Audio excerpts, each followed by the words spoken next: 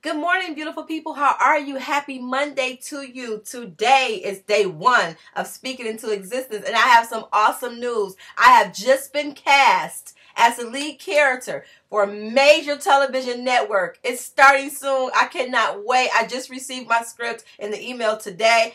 I am so excited. Oh my goodness, not only am I excited because it's something that I love to do, but I'm excited because I can now pay for my daughter's college tuition, I can pay off my student loans, and I can help a single mother complete her nursing degree of her choice without having a financial burden. I am so excited. God is so good. Won't He do it? Okay, guys, I'll see you tomorrow. Day two, speaking into existence. I love you. Let's share that energy.